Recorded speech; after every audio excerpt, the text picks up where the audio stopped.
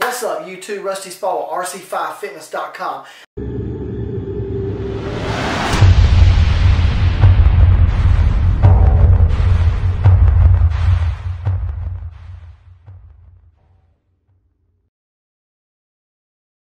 I got a quick tip and trick for you dieters out there, you meal preppers out there. A lot of people go, they, they, they tell me all the time, oh, I hate prepping meals. I hate getting all the Tupperware bowls out and can't ever find a lid. I can't find containers. You know, I go to, you know, it's like losing socks in your laundry. You lose the lids to all your Tupperware, all your Rubbermaid, all your, all your Cool Whip bowls, just whatever you're packing your meals in. I got a quick tip and really easy thing that I used to do back in the day before I got so organized. So what I did back in the day is when the Atkins diet first came out, uh, I started getting ulcerative colitis and I, I, was gaining some weight and stuff. And so I, I got this fad diet, you know, the, the Atkins diet. But I did it, I read through the book and I didn't like the fat content because I was afraid of eating all this fat and clogging up my arteries and everything. So I kind of stuck with the baked chicken and the vegetables. So what I would do is I would cook up, I would steam a bunch of broccoli and a bunch of uh, cauliflower and some asparagus and you know Brussels sprouts, just whatever cruciferous vegetable you want. And uh, that's a mouthful, cruciferous vegetable that you want. And anyway, and then I would bake all my chicken and I would get it in chicken, the chicken strips. I wouldn't get the chicken breast, I get the chicken strips because the strips were just the right size to eat five or six meals a day. And so what I would do is I would use the handy dandy sandwich bag.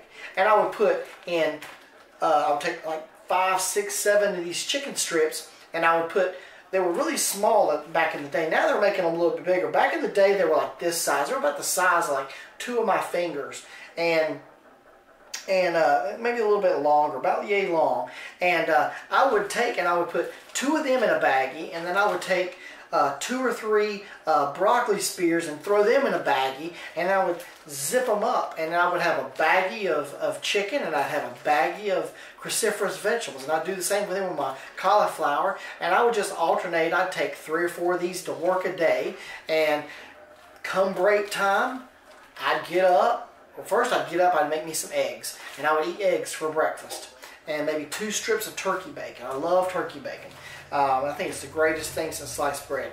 And then um, I would take three or four of these guys to work with me, and I would get a break about 9 o'clock. And so 9, 9.30, I would break out two baggies, I'd throw them in the microwave, juice them up for about a minute or two, get them nice hot, and then I would get my bottle of water and and I'd eat my baggie of chicken and my baggie of broccoli. And you know, I would always, you know, jazz it up with some uh, Mrs. Dash or with some lemon pepper, just something that made it taste good. And I would always marinate my chicken with like uh, some low sodium soy or some low sodium teriyaki sauce or some barbecue, some light barbecue sauce or some honey mustard, just something to give it a little bit of flavor. And so then I would, I would take those and I would eat them every two hours. And you talking about speeding your metabolism up. You can really speed your metabolism up, especially with broccoli and cauliflower and asparagus and Brussels sprouts, things like that, because there's not a lot of calories in it. There's not, there's not a lot of carbs in it. And you actually burn more calories when you're trying, your body's trying to break those types of vegetables down. And so, uh, I just want to give you guys that quick tip today. So, Rusty Spaugh's from RC5Fitness.com. See you guys later. Remember, use your baggies.